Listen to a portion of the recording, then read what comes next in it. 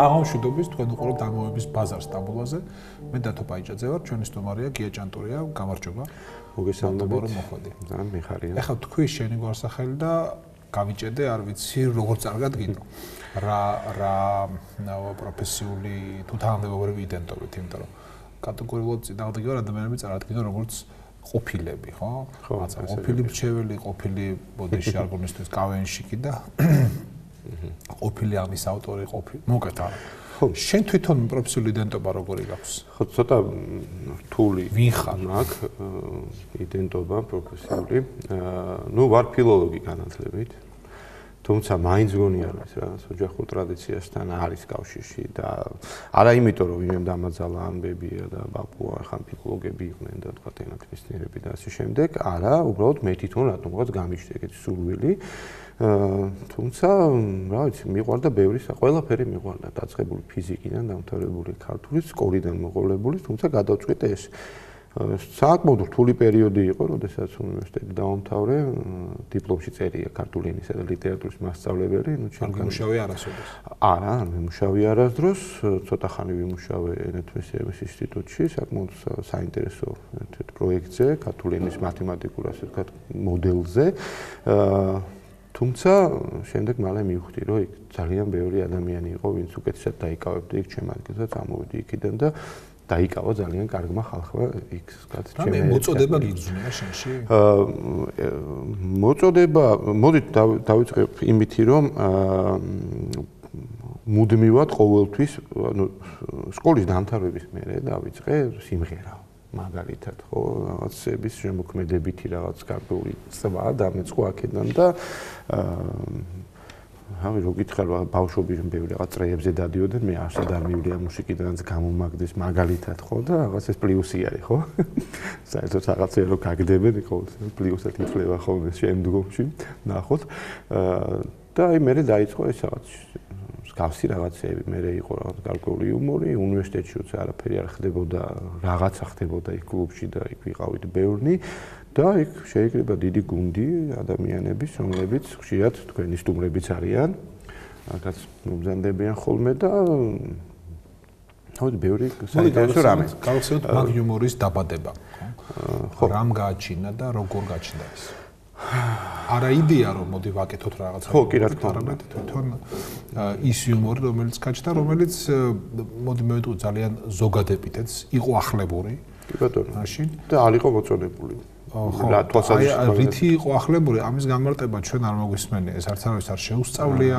ის კი არა უწყინარი კრიტიკაც კი არ ყოფილა თქო და დაწერილი და გამოთქმული. კი ბატონო. არა და ეს იყო მოვლენა რომელმაც მიიპყრო მაშინ ყურადღება ან ბნელ წლებში. აჰა თუ რამე ჩანდა იყო აი ეს თქვენი ასე მანსანკანი ხო თუ როგორ ერქვა კი არ მხოლოდ. ხო თვითონ ფორმა ძალიან ისეთი იყო მანსანკანის ფორმა იყო კარგი. სხვადასხვა მაშინ ხდებოდა უამრავი სხვა რაღაცეებიც უნივერსიტეტში ეს იყო თქვა იგივე რაღაც სტუდენტური დღეები ტარდებოდა და იყო რაღაც სხვადასხვა პერფორმანსები ეწყობოდა და რა ვიცი სცენაზე გარკვეული რაღაც სპექტაკლებიც იდგმებოდა და ასე შემდეგ უბრალოდ ამ მასაკანის ფორმა ძალიან მიესადაგებოდა.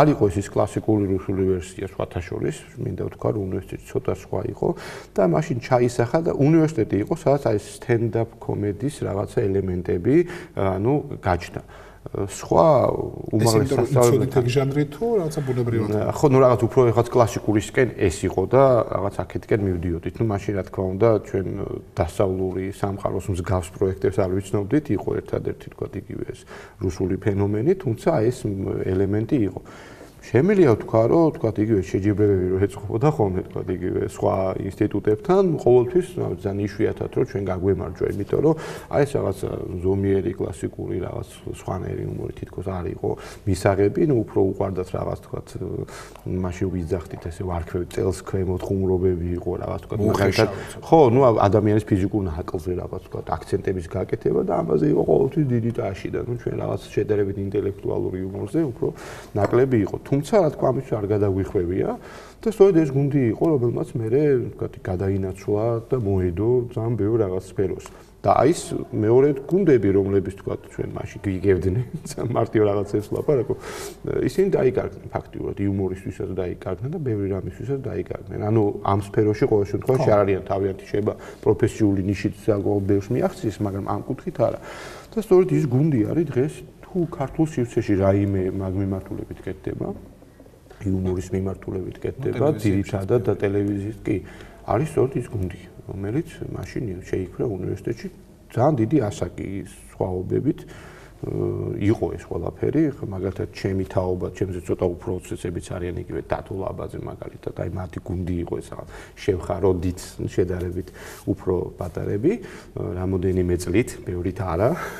და იყვნენ აი თქვა ნიკა ქავთარაძე და ეს გუნდი, რომელიც გაცილებით ჩვენზე უკვე ახალგაზრდები იყვნენ და საბოლოო ჯამში რაღაც მოხდა ის, რომ რაღაც ბოლოს აღმოჩნდით ყველანი 105-ში, 105-ი. აა, რასაც შეუძლებ ზომიერ იუმორს, არ ინტელექტუალურ იუმორს. აი, მაგალითისთვის შემიძლია თქვა, აი ერთ-ერთი თქვა რაღაც ესეთი აი ხე ხუმ რამდენად ფორმატში ხდება, მაგრამ აი თქვა მაგალითად რაღაც ესეთი ხუმრობის ერთ-ერთი ესეთი იქ დაბადებული ხუმრობა თვალშები გიგასი იყო ნასარიძის არ მახსოვს ზუსტად მაგრამ მე მგონი ბოთლის ჩამბარებელ პუნქტზე მაგალითად ხუმრობა როდესაც გზაში ბოთლის ჩამბარებელ პუნქტში მიდის ადამიანი და კითხულობს რომ უკაცრავად დიდი ბოდიში შოტლანდიური ვისკის ბოთლებს თუ იბარებთო ეს ახედავს ჩამბარებელი და არასერ არ ვიბარებთო ეთქვის ხო ეს არის რა ვიცი მე რომ მომწონს ისეთი იუმორი არის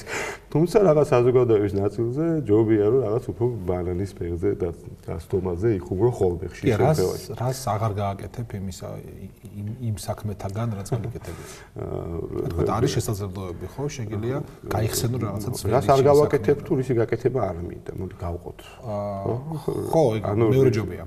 ხო იმიტომ შეიძლება რაღაცები არის რაც უბრალოდ მოგიწიოს ადამიანმა და მე 90 წლებში ძალიან ბევრი რაღაც მომიწია კეთება რაღაცეების იგივე ჩამოთვალეთ. უი მიწის ქვეშ გადასასვლელებში დაკვრა მაგალითად ხო? მე და თქვა იგივე ზაზა გორნთელი ზუმბა იგივე ძალიან ბევრი კაი მუსიკოსი დღევანდელიც ჩვენ მამთი შემიძლია თქო თავსაც ვიჩენი.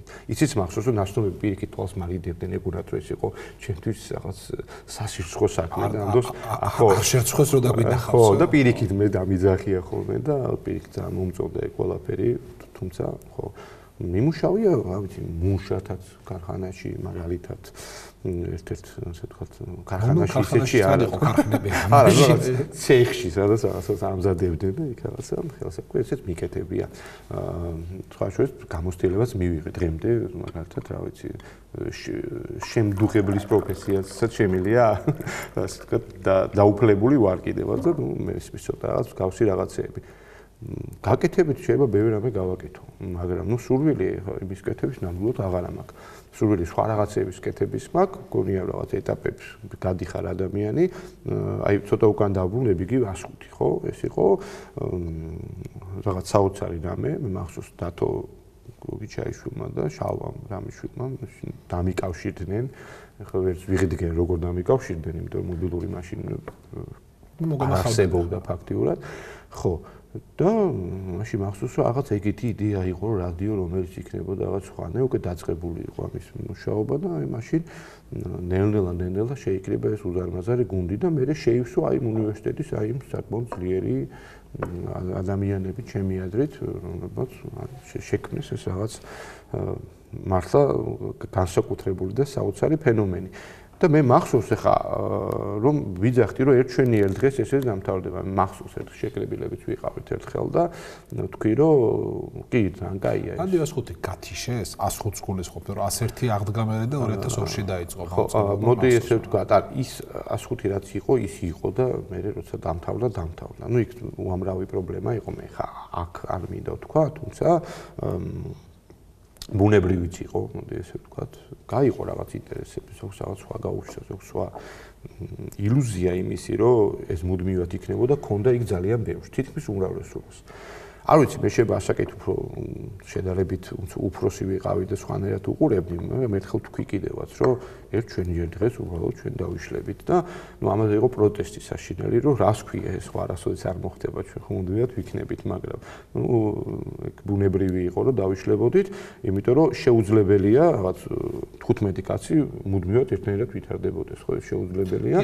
და პირიქით, კარგიც მოხდა, იმიტომ რომ ეს 15 კაციანი ბირთვი დაიყო რა ვიცი, ხუთ ნაწილად და ყველა რაღაც თავის მიმართულებით გამიტანა. რომელი საქმიანობისაც გრძნობდი კმაყოფილებას და ნაკლებ სტრესს? კმაყოფილებასთან არა ისეც, აი რაღაცას რომ მიასკნები მოილევ და შვება გეუფლება და ამიტომ არა, გულისხმობ პერმანენტულ ხშირ კმაყოფილებას საქმიანობა. ნებისმიერი ადამიანი ალბათ არ ვიცი, მე ყოველ შემთხვევაში ალბათ უმრავლესობას არსებობს რაღაცა კომპენსაცია ნებისმიერ რაღაც კეთების, ხო, არის რა თქმა უნდა, ფულადი კომპენსაციაც. ალბათ უფრო ჯილდო და კომპენსაცია არა. ხო, კი ბატონო, კომპენსაცია ის რაღაცა ზარალობდა მე გიდასღაურებ. იყო ჯილდო, მაგრამ ამ ჯილდოს ბევრი რაღაცა ქვია.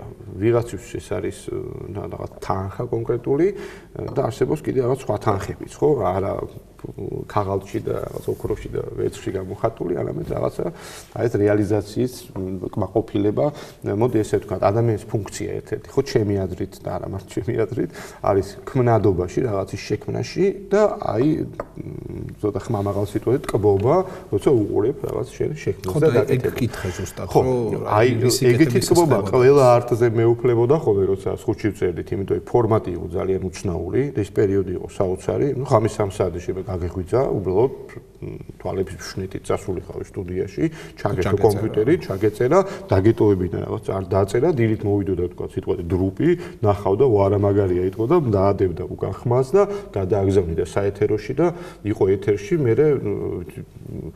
შენი თანამშრომლებიც კი ხანდახან ეთერიდან იგებდნენ რომ თურმე ახალი არტი ვიღაცას ჩაუწერია. ანუ ეს არის მაინც ასხუთში მუშაობა?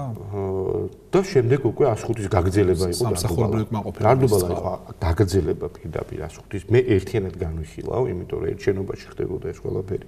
ერთი გუნდით ხდებოდა და ეს საერთოდ საოცარი იყო, იმიტომ რომ როდესაც ითქვა, რომ გაკეთდება ყოველკვირეული 10 წუთიანი სერიალი, ეს დღესაც კი პრობლემებთან ტექნიკურად დაკავშირებული მით უმეტეს ანიმაციურს ხო რა თქმა უნდა ეხეთ მიუხედავად იმისა რომ ლიმიტური იყო ეს ანიმაცია საკმაოდ ლიმიტირებული არის მოძრაობაში შეზღუდული და არ იყო თქვა ეს რაღაც დისნეის ესე ხო ბემბი ნამდვილად არ იყო ეს იყო ფანტასტიკური სფერო. აა ora az კუთხით შეიძლება ბემბიც იყო მაგრამ ვიღაცისთვის ბემბი იყო არ ვიცი და ეს იყო საოცარი რა ამის გაკეთება იყო თითქმის შეუძლებელი და მე მახსოვს როცა გუნდი თან ერთად ვიყავით თქვენს რო გია მე მგონი ეს შეუძლებელია და შენი იდეა იყო დარდობალა? აი მოდი ესე ვიტყვი ეს იყო ვიქტორ ციკლაური ხატურის რომელმაც თქვა რომ რა მაგარი არტებია მოდი ეს არტები მულტფილმებად არ გადავიღოთ. ანუ პატარა არტები რომელიც შეიძლება და გადაღებული ყოფილიყო მულტფილმებად ეს იდეა მე შალვამ მიიტანა ეროსისთან და ეროსიმ თქვა რომ არა, იცი რა, მოდი ხო არ გაკეთდეს სერიალი, რასაც ქვია და ნუ შავა დაბრუნდა და იცი რა იქ მარტო ეგეთი უნდა თო, რომ 10 წუთიანი თუ იქნებაო სერიალიო და თქვი რომ კი შესაძლებელია ამის გაკეთება, რომ იყოს 10 წუთიანი და სიმართლეს ვიტყვი რომ მარტო მემჯეროდა რომ გამოვიდოდა ეს 10 წუთიანი, ყველამ თქვა რომ ხატრებიც ამბობდნენ რომ შეუძლებელი არის. თუმცა ავაწყოთ ეს რაღაცა საოცრება და რა ვიცი გაკეთდა და მე მახსოვს რატო არ გჯეროდათ? ხო რეზერვებოდათ შრომა. არა, აი დაახლოებით ხა იგივე არის როგორც თქვა, რომ აი როგორ ვთქვა. არა, რთული, ტექნიკურად ძალიან რთული იყო, მით უმეტეს მაშინ ეს ძალიან. ჩვენ ახლა მეოდექით ისედაც ვლაპარაკობთ იუმორზე საჯარო სივრცეში, მაგრამ ახლა მეოდექით იუმორს პოლიტიკაში. ხო, დარდუბალა, კი ბატონო, ანიმაციური ფილმი იყო, მაგრამ ეს იყო პოლიტიკური იუმორი და პოლიტიკური იუმორი არის ის სახეობა, ასე ვთქვათ, იუმორისა, რომელიც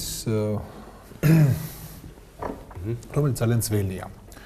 მინიმუმ 2500 წელს არის. და როდესაც ადამიანებმა საჯაროდ დაიწყეს სიცილი, მათ მალევე მოუნდათ ამ სიცილს ყოველ და ობიექტი მათ ეს სიცილი მიემართათ კონკრეტულად ვიღაცებისკენ, საჯარო პირებისკენ.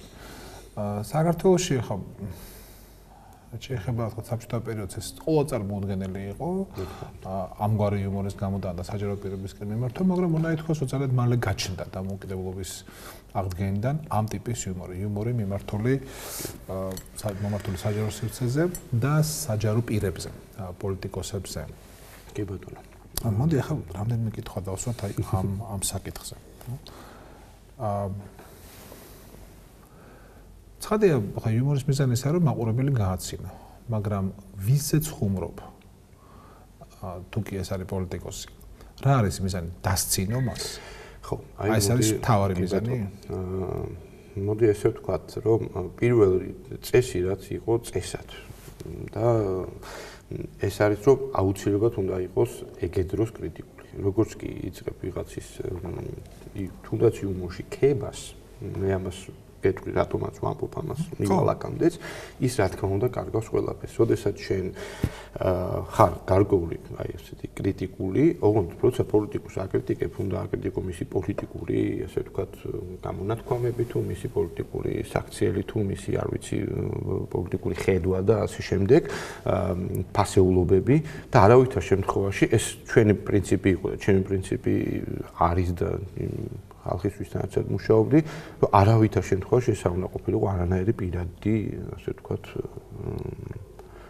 და არ უნდა ყოფილიყო არანაირად რაღაცა ბოროტი ხუმრობების დონეზე. 46 სერია გაკეთა თუ არ ვშდები დარდუბალასი და შემდგომ მე კიდე ჩვენი ეზო იყო სამგაზო ის 80 მარტო მარტო დარდუბალას არ გულისხმობ. ხო ის ხო არანაკლები ჩემი აზრით საკმაოდ ძლიერი იყო უბრალოდ მაშინ სამგაზობელებიანი გრაფიკა ძალიან ახალი ხელი იყო და ცოტა ისე უყურებდი თუმცა ძალიან საინტერესო სერიალი იყო. 83 თუ სერია თუ არ ვშდები კიდე ნუ დაახლოებით მაგრამ 80-ზე მეტი გაკეთდა. ჩვენი ეზოსი კი უფრო მეტი ვიდრე დარდუბალა და შემიძლია თქვა რომ ფაქტიურად არასდროს რაღაც პიროვნებაზე შეურაცხყოფა ჩვენ არ მიგვიყენებია მოდი უფრო კონკრეტიკაზე გადავალ, თუ ძალიან ძნელია ესე იუმორზე, თეორიებით საუბარი, იმიტომ რომ ხო ეგეთ ძიმია იუმორზე ესე ისაუბრო. იგივე თქვა შევარდადის ფენომენი, ხო, რომელიც არსებობდა დარდუბალაში და ძირითადად იყო ყველა იძახდა რა საყვარელია, აი მე როგორ თქვენ აღდგით და ის რაღაც გაასაყარლეთ ასე შემდეგ და ამას იძახდნენ და შეშ უთქვამს რომ იცი რა მე მგონი იმის დაფინანსებული ემდო ნახე რა კარგად არის რაც გამოჩენილი რომ რაღაც საყვარელი ტიპია მაგრამ ბატონო? ჩაგაფიქრათ არა არა არასოდეს ვიცოდი თუ ესეთი უნდა ყოფილიყო იმიტომ რომ ეს იყო სხვა რამე ეს არისო რაღაც ბოროტად რაღაც წარმოჩენის. მისი საქციელით მე უფრო მეცაც გეტყვით ისიც კი მახსოვს ერთ რას დასცინოდით შევარდანцеში ხო ნუ იმას რომ მოდი ესე ვთქვათ რა გააკეთა დარდუბალამ შევარდანის მიმართება საბოლოო შედეგი რა იყო და როგორ გააკეთა ეგ კიდე ცალკე თემა არის. მითი იმაზე რომ ეს არის საოცარ დიდი პოლიტიკოსი რომელიც იმის იქით კი გზა არა ეს მითი დაინგრა. ამ სერიაში ეს გამოჩნდა უბრალოდ ბაბუა, რომელიცაც არ შეუძლია ქვეყნის მართვა და რაღაცების კარგად კეთება.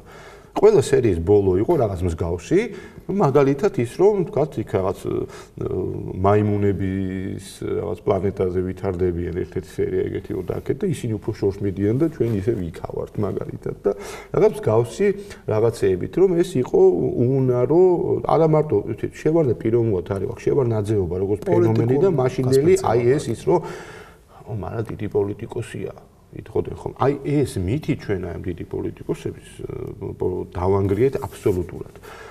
და გახდა რაღაცა ბაბუა რომელსაც უბრალოდ იქ არის და არ შეუძლია არაფერი თქვა უკეთესობისკენ გააკეთოს და ეს იყო ეს იყო ხატი ეს იყო მიზანი წარმოგეჩინა შევარდნაძე ასეთად. თუ თქვენი აზრით ეს იყო რეალური შევარდნაძე რომელიც გადმოიტანეთ კულტურაში ხო იცით რა არის შედეგით ეგეთი იყო არა რა თქმა უნდა რეალური ეგეთი არ იყო რეალური ალბათ ეგეთი არ იყო. მე გულისხმობ აი რომის დიდი პოლიტიკოსობა მითი იყო. იცით რა არის დიდი პოლიტიკოსობა შედეგობრივად მითი, რა თქმა უნდა. ის შედეგი რასაც აღწევ, როდესაც შენ ჯარი გამოვყავს იმით, რა ქვია, აფხაზეთიდან და მე ამბობ რომ მე მეგონა ენგურზეო და თურმე ხელშეკრულებაში ის მეგონა, რა ქვია. აა ხო, ფსოულ მეგონა ეწერაო და თურმე ენგური წერებულაო, აი ხა, ნუ აქ დიდ პოლიტიკოსობაზე საერთოდ საუბარი არ არსებობს, მაგრამ ნუ მაშინაც, რა ვიცი, საზოგადოება, რა ვიცი, არ იყო შეიძლება, რომ რაღაც მზად იმისთვის, რომ ამაზე უარი. საკაშულზე რატო ვეღარ იცინეთ? ხო, აი მე გეტყვით, ხა მაგაზე და ძალიან ბევრს უთქვამს თუ და შორის ეს იგივე დარდუბალას დროს ბოლო პერიოდში იყო ერთი სერია, სადაც იყო კიდევაც შემოთავაზება, მაშინდელი თქვათ, იგივე გარკვეული ნაწილისგან ჩვენ იყო და გუნდმა გადაწყვიტა კიდევაც, რომ მოდი აი შემოვიყვანოთ პერსონაჟი სააკაშვილი. ჯერ კიდევ მე დარდუბალას დროს, სანამ არის ვარდების რევოლუციამდე. და ერთ-ერთი ვიყავი მე ძინაამდეგი, იმიტომ რომ შემოყვანა იყო რატომღაც რაღაც დაპირისპირებულ რაღაცა მხარე და ვიდროიდან შენ ამ მხარეს წარმოაჩენ ნეგატიურად, მისი დაპირისპირებული მხარე გარკვეულწილად პოზიტივში უნდა წარმოგედგინა. და მაშინ ვიყავი ძინაამდეგი, რომ არ შეიძლება მსგავს სერიალში იყოს მეორე მხარე, რომელიც იქნება დადებითი, რომელიც არის კარგი, ხმალა მოღებული და არის კიდევაც ერთ სერიაში და თხოვნა გავითვალისწინე და ერთ სერიაში დაუშვი. აი მეორეში უკვე მოთხოვნა იყო, მე ამაზე უარი ვთქვი და ამას მოყვა უამრავი რაღაც პატარ-პატარა კონფლიქტები სხვათა შორის და მე ეს ყველაფერი გადაიზარდა იმასთან რომ მე უბრალოდ წამოვედი.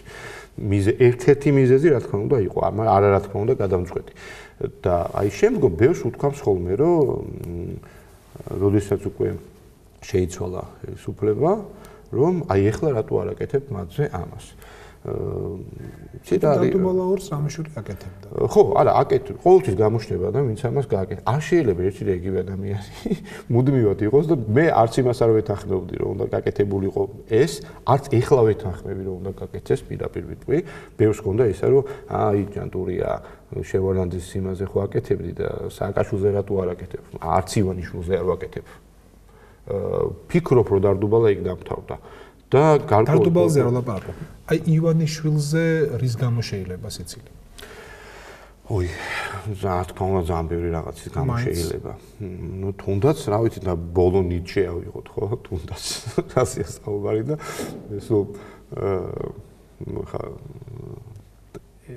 რა ვიცი, ძალიან ბევრი რაღაცის გამონათქვამებიდან დასწრებული და დასწინოდით პოლიტიკოსებს და აა მე მგონია რომ მაყურებელი და მსმენელიც ასე აღიქვამდა ეს იყო სატირა ხა ცინიზმი ძალიან ძნელია ამას უწოდო ხო ფიქრობ შეიძლება სამი გაპარული იყო ცინიზმი რა სულველი და ორიენტირი ამაზე არ არის ქართულ ენაში არის ეს საინტერესო დამთხევა რა თქმა უნდა ეს არის არ გონია რომ ცინიზმი და დაცინვა ერთი ფუძეა მაგრამ ნუ გონია რომ თუ საქმე გაქვს თუ დასცინი ადამიანს ეს ყოველთვის ცინიზმია. შეიძლება ეს არ იყოს შეიძლება ეს იყოს როცა სატირული დაცინვა ხო? კაი ამას შევეშვათ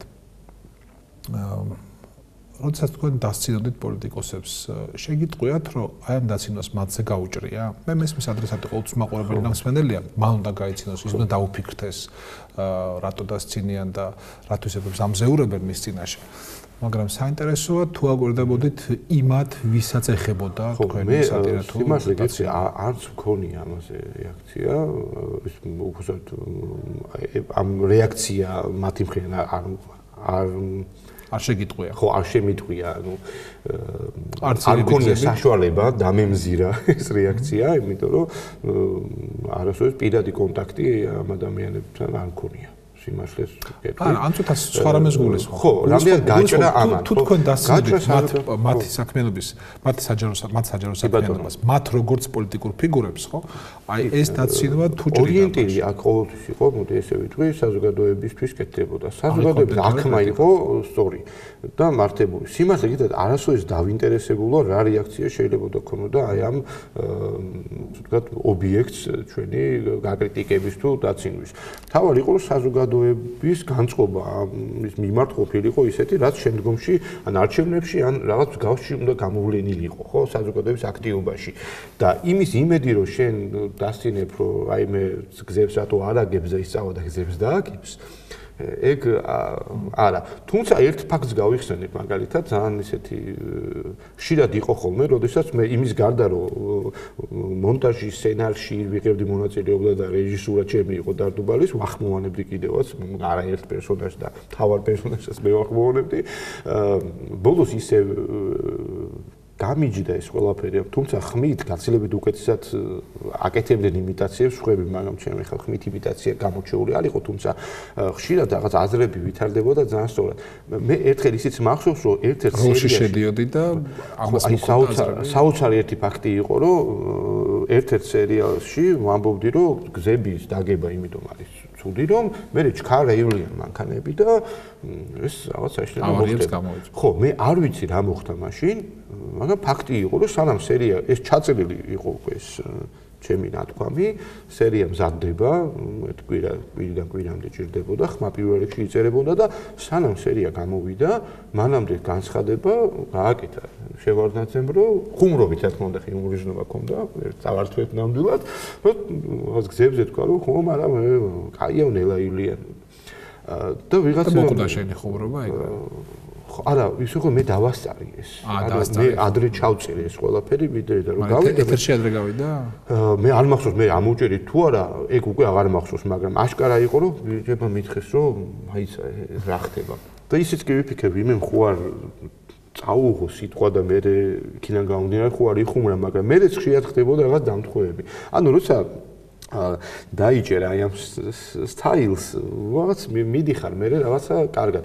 თუმცა კიდე ერთხელ არაზრუს ჩვენ არანაირი შეურაცხყოფა პიროვნულ დონეზე არავისთვის არ მიგვიყენები ეს ნამდვილად ვიცი და შეიძლება რაღაცა იყო ხოლმე ხანდახან თქვა ჩვენი უცოდინები გაგპაროია რაღაც იგივე რაღაც ცოტა ცინიკური დამოკიდებულება ვინმეს მიმართ მაგრამ არაზრუს ჩვენ რაღაც ესეთი პირად შეურაცხყოფაზე არ გადავსულოთ რასაც ვერ ვიტყვით მაგალითად უკვე თქვა ბევრი სხვა ავით ჩემი აზრით არის ბევრი იუმორისტი, რომელიც ხა არ დავკონკრეტდები, რომელიც პირაპირ შეურაცხყოფაზე პიროვნულზეც გადადიან და არა მარტო რა თქმა უნდა იუმორში. პოლიტიკური იუმორის კეთებისას შენ დაკურებით აი რა ხერხები გაცვდა, რა საშუალებები აღარ ვარ გადა ჯობია რომ არ გამოიხატო. არასოდეს არ გაცვდება ალბათ, რა ვიცი, იუმორი ესეთი რამეა, რომ ყოველთვის თუ იუმორია და მართლა იუმორი არის. როდესაც ეს არის უკვე რაღაცა უნდა ჩანდეს ამ იუმორში რაღაც სწორი და რაღაც კეთილი დამოკიდებულება. არ ვიცი, როგორ ვთქვა ეს ყველაფერი, როგორც კი ჩანს რაღაცა სიძულვილი არ უნდა იყოს. სიძულვილი როგორც კი ჩნდება, იქ რა თქმა უნდა ყველაფერი თავდება. იუმორი არის რა, არა გადამდები აღარ არის თუ არა იუმორი აღარ არის უკვე, იმიტომ რომ აი იქ თავდება იუმორი, სადაც იწყება რაღაცა პირადი გაბრაზაზება და რაღაცა ღვარზლი. რა თქმა უნდა, ჩვენ ყველანი ვიყავით 90 წლები იყო საშინელება. ჩვენ ძალიან ცუდი პრობლემები გქონდა, მაგრამ როცა შევდიოდით იმ სტუდიაში სცენარის მაგით და საწერ მაგიდას და ვждებოდით, ამას ყველაფერს რა თქმა უნდა უკან ვაგდებდით და მე მახსენდება სხვადასხვა ერთ-ერთი აი სულტა ეს კავეინის პერიოდი გაიხსენე, ერთ-ერთ გუნდს გქონდა ეგეთი ის, რომ მოდიო ავდგეთო ეგეთი ისეთი სიტყვა იყო, რომ ყველანიო ვიცვლითო რომ კარგები ვართ, ხელში ავიღოთ ავტომატებიო და დავხოშოთ ვისაც თulis რომ ცუდები ვართ, ეგეთი ხუმრობა იყო. ანუ ჩვენ ეს გადაწყვეტილება რომ მოდი ჩვენ კარგები ავიღოთ ხელში ავტომატებიო მოდებია დავხუსოთ ყველა ვინცუდები, ეგეთი გადაწყვეტილება არ მიგვიღია. როგორც ამ გადაწყვეტილებას იღებ, იქ თავდება იუმორი და იქ იწყება რაღაც სხვა, არ ვიცი, კი ჟურნალისტიკაში არის უამრავი ეგეთი ფორმა, დღეს არიან გაზეთები, არის ტელევიზია, არიან ჟურნალისტები, რომლებიც ამენით ლაპარაკობენ. რაღაც შედეგი მაგასაც აქვს. მარტო იუმორი ხო არ არის შედეგობრივი. აქვს ამასაც შედეგი, მაგრამ აზე სიცილია საფრთხილო და სარისკო საჯარო. მე მგონია რომ ხუმრობა შეიძლება ყველაფერზე. არ არსებობს თემა, რომელზეც ხუმრობა არ შეიძლება. მაგრამ ნუ ხუმრობაც არის და ხუმრობა. თავის ვიღაცა რაღაცას ხუმრობას ეძახის. რაღაცეებია, რომელსაც მე ხუმრობას არ ვეძახი მაგალითად და ნუ ვიცი, მაგრამ ხუმრობა არ არსებობს თემა, რომელზეც არ შეიძლება იხუმრო. აი ეკლესიაზე რატო არ იცინიან მაგალითად საჯარო სივრცეში არიციან ერთია მაგრამ ხუმრობა შეიძლება რა თქმა უნდა ნუ თუ ახსოვთ ჩემ ჩემ ცოლის დაკალებში ვთქვით კინოში არა სერიალში იყო ერთი ეპიზოდი როდესაც კოჭის ხორცს როგორც ბოლოქს ისე კი ბატონო იცი რა არის სამწუხარო ერთი რაღაცა რომ მე თვითონ ვარ თვლითავს ქრისტეს მიმდევრად ვარ ქრისტიანი წამს და ასე შემდეგ ეგ ერთი თემაა. თუმცა ამას რატო ვამბობ? იმიტომ არა, რომ თქვა მაყურებელმა არ იფიქროს, არა, ამას იმით გამომდინარე, რასაც საუბრობთ. სამწუხარო ძალიან ბევრისთვის ქრისტიანობას, ჯვარიც, ეს რაღაცა თილისმის რაღაცა ფუნქცია შეითავსა და რაღაცა ესე ცრუწმენული რაღაც ისინი არის, რომ აი მაგალითად თუ აი ძალიან ჩემთვის ძალიან გაუგებარი არის ბევრი რაღაცა, რომ მაგალითად მინახავს ადამიანი, რომელსაც რაღაც იგივე სოციალურ ქსელში, რომელსაც რაღაც უამრავი ხატი აქვს, გაკრული და სამაგეროთ იქ შეუულია დაწეროს, რომ ვისაც არ წავს ყველას ასე და ისე და საშნელი სიტყვებით დაწერილი. ნუ ხა არ ვიცი ის რამდენად არის, ხო, იქ და უამრავი ადამიანი, რომელსაც კი არც დალაიქებულის არ აქვს, გავსკეთე. ვისაც გეშინია, იმაზე ვერ გაიცინებ? აა ხო, მიცი ხე რასაც ამბობ. ანუ ამბობ რომ შიში არის ის რომ არ უნდა გაიცნო. მე მინახავს მაგალითად ერთ-ერთ გადაცემაში პირველ ახსე ადრე რაღაცა იმ რელიგიურ თემაზე იყო.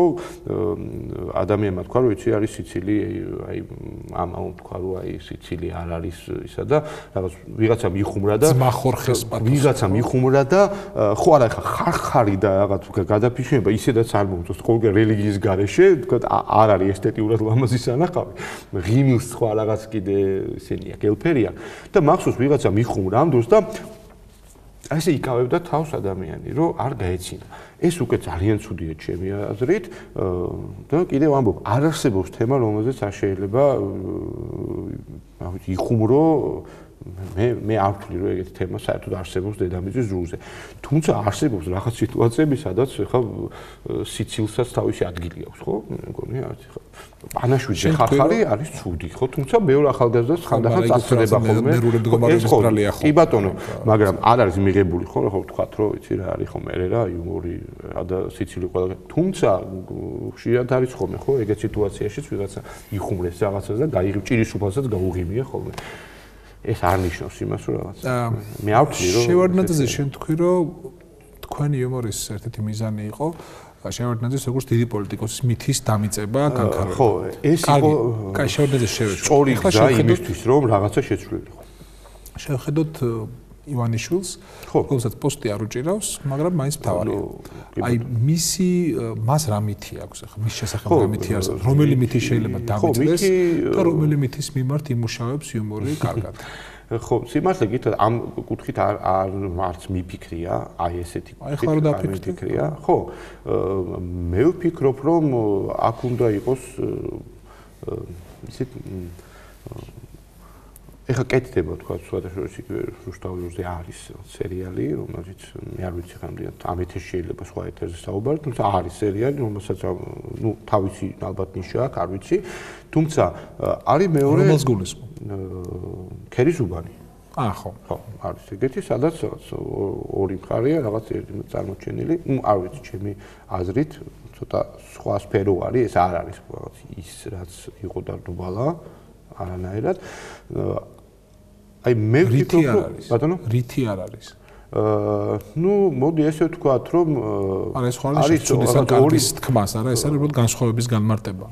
ხო მაგრამ არა ჩემი ჩემი ჩემი აზრით თქო ვიძახი რომ რაღაც აი ერთ იმაში აი ესე წარსული თუ არის პოლიტიკა უნდა აკეთო მოქმედ პოლიტიკოსებს. მოქმედ ის იყო ხელისუფლებაზე მიმართული და ჩვენ უარს ვამბობდით მაშინდელ ოპოზიციაზეც, მაშინდელ აბსოლუტურად ყველაზე და ყველაფერზე.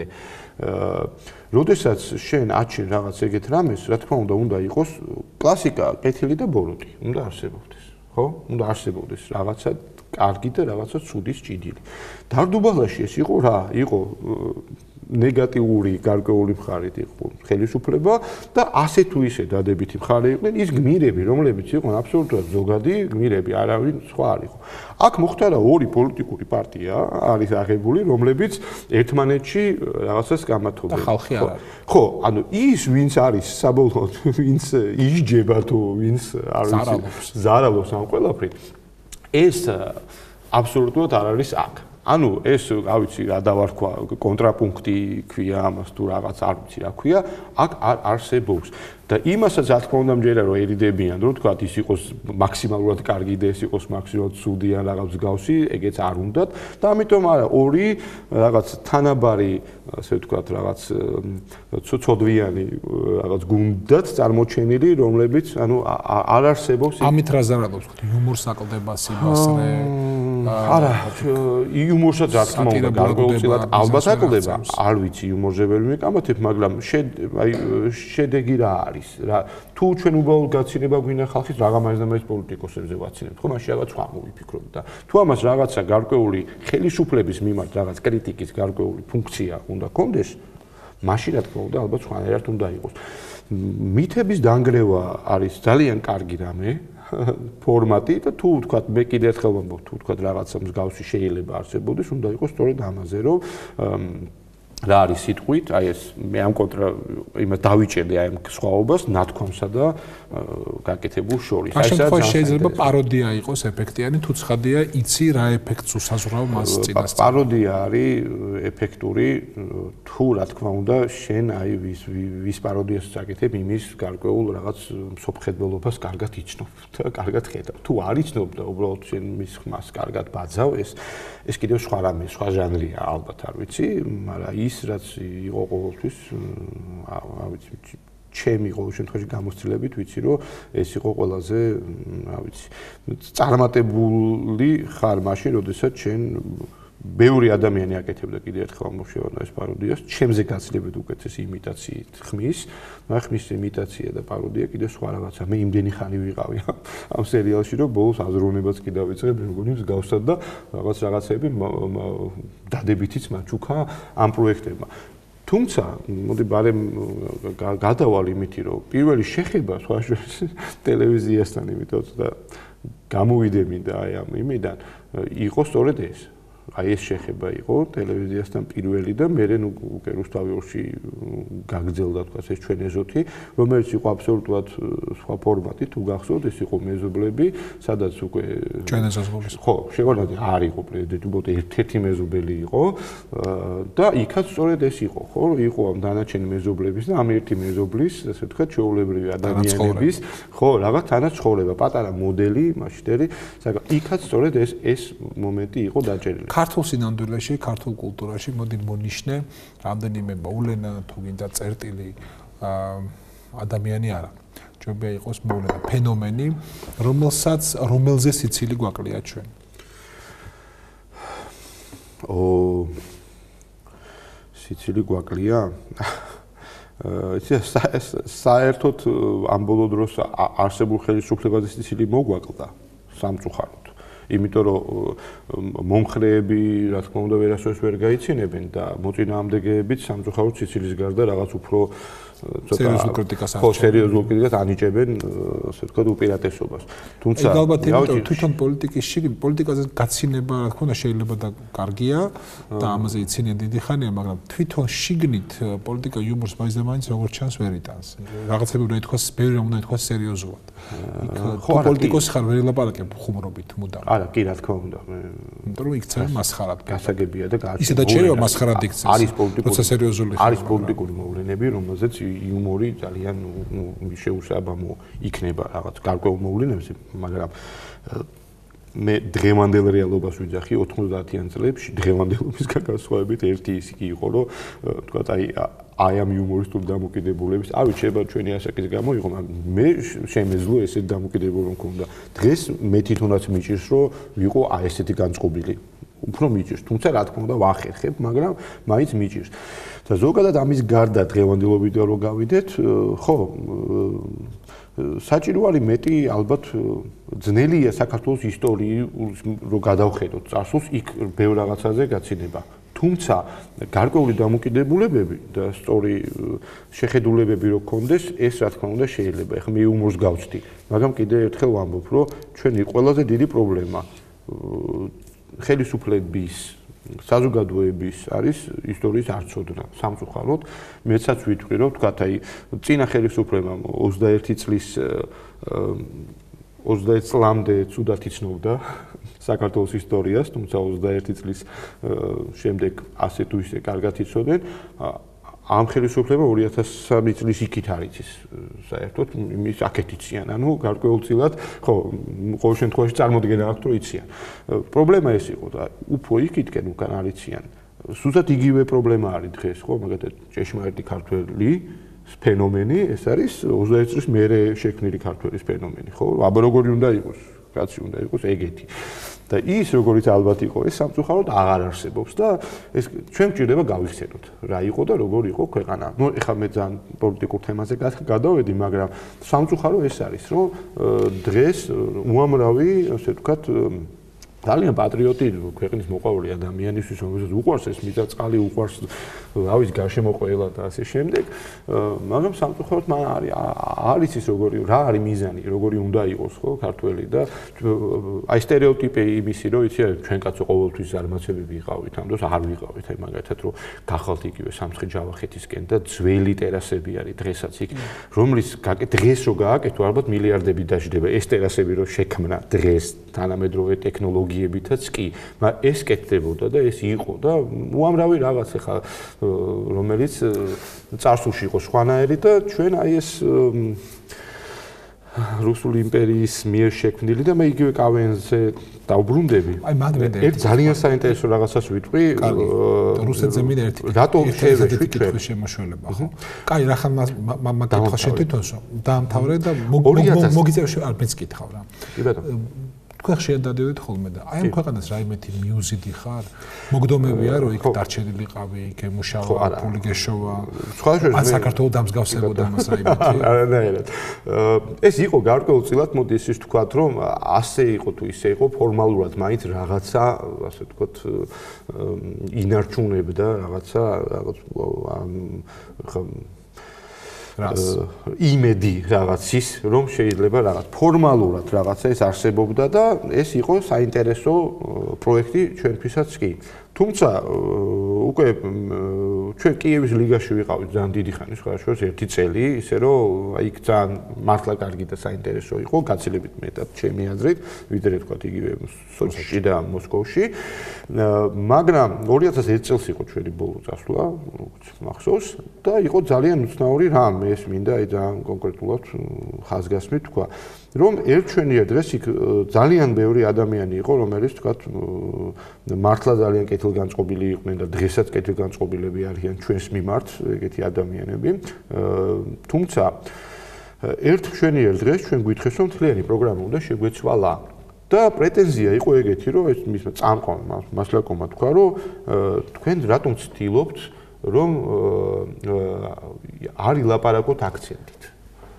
ჩვენ ვთქვით, რომ ჩვენი აქცენტი გვაქვს, შეუძლებელია ქართულს, რუსულს საუბრობს, მას არ კონდეს რაღაც გარკვეული აქცენტი. ალა კი გაქვთ აქცენტი, მაგრამ აი აი ის ნამდვილი ქართული აქცენტია. ვერ მიხვდით თავიდან რაც უნდათ და მე ბოლოს მიხვდით რა იყო. ხო, აი ხა გეტყვით და ერჩვენიერ დღეს გითხეს, რომ მთელი პროგრამა უნდა შეიცვალოს ხვალისთვის. ნუ რა თქმა უნდა ჩვენ ეს არ მოგვეწონა და ბოლოს ისე მიდგაო ჩვენ უარ თქვით საერთოდ გამოსვლაზე და ისიც მახსოვს რომ სხვა გუნდები მოვიდნენ და თქვენს რომ რასაკეთებთ ეგეთი რაღაც არ მომხდარა ხო რომ უცებ შენ გაქვს თამაში ნახევარ ფინალი თუ რაღაცა და უცებ ამბობ რომ არ მინდა რა და იხურა ქუს და მოხდინა თბილისში და განმარტება იყო ეგეთი სიტყვა სიტყვით რა რომ როგორ ვერ მიხვთითო გითხეს რომ ჩვენ იქ კოსტიუმებში ჩაცმულები და რაღაც ასე თუ ისე რაღაც ისე ცილობდით რომ რაღაც კარგად გვეხუმრა ასე ჩვენ თუ რაღაც კლასიკურად. ვიყავით გამხდრები მაშინ რა ვიყავით რაღაც ასე ვთქვათ ინტელექტუალური რაღაც იუმორის ნიშა გვეკავა. საუბრობდით რა თქმა უნდა აქცენტით მაგრამ ამას უტრირებას არ უკეთებდით. მოთხოვნა იყო რომ ჩვენ უნდა გველაპარაკა უტრირებული აი ქართული აქცენტით რატომ? სიტყვა სიტყვით московская публика любит туповатых грузин. ანუ რუსულ პუბლიკას მოსწონს როდესაც ხო არაგოი აი ხო რომელიც ყვავილს ხიდი ის იქა და აი ყვავილის გაკიდვაზე რატო არა გაქვთ ხუმრობა გეკითხებოდნენ ნუ არ გვინდა რა ვიცი ოქონდეს მაგასი ხუმრობა ყვავილის გამყიდველ ქართველზე რატო არა გაქვთ ქუდები რატო არ გახურავთ ეგეთი ეს ხო თქვენი ნიშაა. ნუ ეუბნება არა ჩვენი ნიშა, ჩვენი ნიშა რაღაც სხვა რამე არის და ასე შეიძლება ვერაგიტანეს ეგეთები ხო? რა თქმა უნდა, ეგეთები ვერაგიტანეს და რა ვიცი, მე მგონი ხა მიაღწიეს ეგეთებს ხო? რაღაც ეგეთი იყო. კი, ბოლო კითხვა. მიაღწიე იმ ასაკს, ან იმ კონდიციას, როცა გინდა აკეთო ისე საქამდე აკეთებდი და რაღაც ახალი აღარაფერი გიზიდა. არა, მოდი ესე ვთქვათ, რომ მე ჩემთვის რაც გიავიარე ყოველთვის რო იყო ეტაპი, ხო? მიწის ქვეშ გადასასვლელებში დგომა იყო რაღაცა ეტაპი ჩემთვის, ну, ჯობდა სხვა სხვა სხვაგან შეიძლება დამეწყო, მაგრამ რა იყო რაღაცა, კარგი ეც იყო ამაში, უამრავი საინტერესო ადამიანი გავიცანი. შემდეგ იყო ასხუთი დარდუბალა. შემდეგ ჩემი კომპანია მქონდა, რომელიც ტელევიზიაში წასვლის მე დავხურით და აღარ არსებობდა, რომელიც აღდგენასაც ეხლა უკაცრავად ცდილობ. აა და იყო ტელევიზიის სამწელზად ნახევრიანი, რა ვიცი, ჩემი საზრით საკმაოდ ესეთი საინტერესო რთული მაგრამ ვფიქრობ, რომ რა ვიცი, ჩემთვის ძალიან მე ვფიქრობ, რაც არ უნდა ვინ რა უნდა იფიქროს, ჩემთვის ძალიან რა ვიცი, წარმატებული პერიოდი. თუმცა რა თქმა უნდა, შემიძლია ვთქვა, რომ არასოდეს აქ არ მიგვუნდები, ვფიქრობ, ეს ეს ეტაპია. სატელევიზიო სივრცეში მე მგონი ერთ-ერთი საკმაოდ ისეთი მიღწევაა, ხო, როდესაც იქ მიხვალ, როდესაც საზმაუწყებლის გენერალური დირექტორი ხდები, რაღაცას ნიშნავს. თუმცა კიდევ ერთხელ ვამბობ, რომ ესეც ეტაპია და უფრო სხვაგან მინდა წავიდე და ვიმოძრაო. საით ძირითადად ხო აი მოდი ესე ვთქვა რომ მე ეხლა ამ წუთში მაგ ჩემი შევქმენი ესე ვთქვა დავა ასე ჯერჯერობით ამ ეტაპზე ვარ და ძალიან ნელი ნაბიჯებით ჩემი სტუდია პატარა რომელიც მინდა გავზარდო ჩემი საბოლოო მაგ უამრავი საინტერესო სცენარი მინდა გადავიღო ეს ფილმები და მინდა აი ამ მიმართულებით ვიარო თუმცა მე ვიცი რომ დრო უკეთავდება, მაგრამ ერთ რაღაც ტელევიზიის ხანას ჩვენ საერთოდ არ შევეხეთ, იმიტომ რომ შენ ბევრი რაღაც იცი. თანამშრომელი ხავი და ეთქობა ნაკლებად გაინტერესებდა. მე უბრალოდ დღევანდელ მედია სივრცესთან დაკავშირებით ორი სიტყვით ვიტყვი და მუდმივად არის რომ აი რატო ხდება ისე და აი ვისი მიკერძოებული და ასე შემდეგ და როდის შეიძლება ის დამთავრდეს და რა თქმა უნდა ამას ყველაფერს დრო უნდა და რა თქმა უნდა ამას ყველაფერს უნდა გარკვეული ეტაპები უნდა გაიაროს ჟურნალისტებაზე და საზოგადოებას, მაგრამ ერთი მახსენდება, როცა BBC-ში სტუმრად ვიყავი, BBC პარლამენტში და ერთხელ ერთ-ერთ პროდიუსერს ვკითხე, რომ აი როგორ ახერხებთ თქვენთან, რომ აი BBC ხართ და ესეთები ხართ და როცა თქვა ეთყობა აი პოლიტიკოსები ალბათ არ ცდილობენ თქვენთან რომ რაღაც გავლენა იქონიოს თქვა მედიაზე. და მაშინ მითხრა პროდიუსერმა რომ არ დაიჯერო, არ არსებობს პოლიტიკოსი დედამიწის ზურგზე და რა თქმა უნდა ბრიტანეთში, რომელსაც არ უნდოდესო რომ ჯიბეში ყავდესო, ასე ვთქვათ, ხო, ჟურნალისტებიო. ესეთი პოლიტიკოსები არასოდეს არ დამთავრდებიან. უბრალოდ ჩვენთან დამთავრდნენ ეგეთი ჟურნალისტები, რომელსაც სურვილი აქვს რომ იმე პოლიტიკოსის ჯიბეში იყვნენ. ისე რომ გარკვეული სანამ ანუ რეცეპტი არის მაინც მარკეტკენ და რაც არ უნდა იყოს ჟურნალისტმა უნდა იცოდეს ის რომ არჩევნების წინა დღეს არ უნდა იცვლიდეს სოფხედველობას, არ უნდა ჭირდებოდეს ამის შესწორ, უნდა იყოს დაცული იმისგან, რომ შენ გარკვეული პოლიტიკური ცვლილებები შენზე არ მოქმედებს და მაშინ ხარ ალბათ, რა ვიცი, როგორც მოსამართლეს უნდა აქვს გარანტია, ხო, რაღაც სიცოცხლის ბოლომდე მოსამართლეობის, ალბათ ჟურნალისტად, ხო, აქ აქ ჯერ აქ ჯერ არ აქვს, მაგრამ ზოგადად ალბათ რაღაც ჟურნალისტად უნდა კონდეს და ეს იქნება ერთადერთი ჩემი საზრით რაღაცა გარკვეული, რა ვიცი, საშველი, იმიტომ რომ დღეს ძალიან ფიქრობ, რომ ცოტა პრობლემები გვაქვს მაგ მიმართულებით. აი, მაგ რბილი ნათქვამით მოდი დავამთავროთ ჩვენი ამოების ბაზარი. დღეს ჩვენი სტუმარი იყო გია ჭანტურია, მადლობა წარმატებაში ნახვამდის მომავალ სამშაბათამდე.